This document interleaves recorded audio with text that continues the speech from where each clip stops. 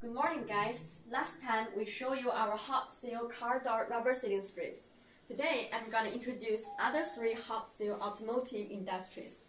The first one is car window glass red channel.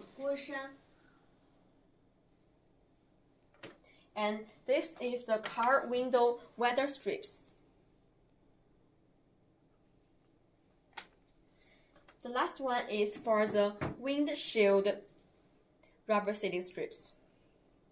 If you have any inquiry about automotive rubber sealing strips, it will be our great pleasure to give you a reference offer sheet.